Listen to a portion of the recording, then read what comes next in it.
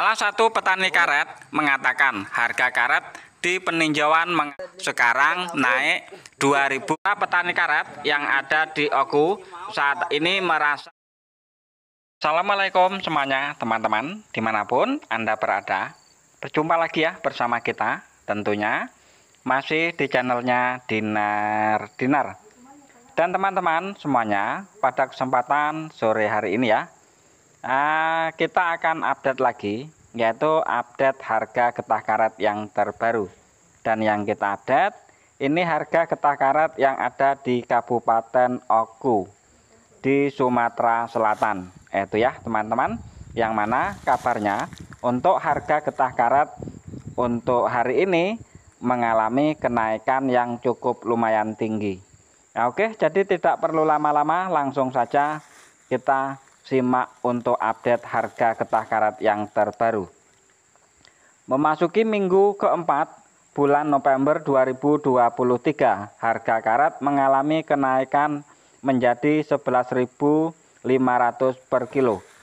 Harga ini berlaku untuk penjualan dua minggu, sedangkan untuk harga penjualan mingguan dibanderol dengan harga 10.000 per kilo dan harga jual bulanan sekitar 13.000 per kilonya.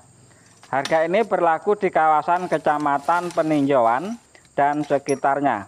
Sedangkan untuk kawasan Hulu, Semindang Gaji, dan sekitarnya, harga karet untuk dua minggu mengalami kenaikan juga. Dari 10.000 per kilo naik menjadi 11.200 per kilonya.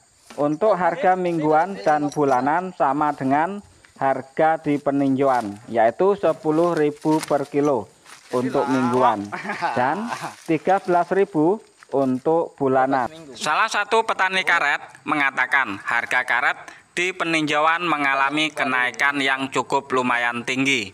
Dari biasanya selalu di bawah harga kawasan hulu untuk bulan-bulan sebelumnya, harga mingguan yang hanya dibanderol dengan harga 8.000 mengalami kenaikan yang cukup tajam sebesar 2.000 hingga menjadi 11.000 per kilonya.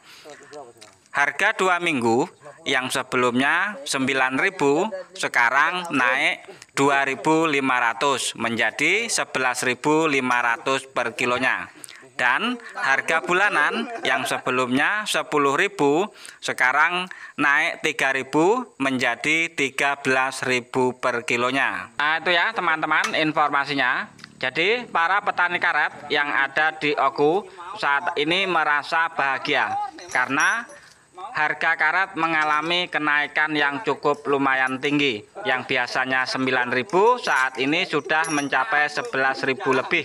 Itu ya teman-teman. Oke semuanya. Assalamualaikum warahmatullahi wabarakatuh.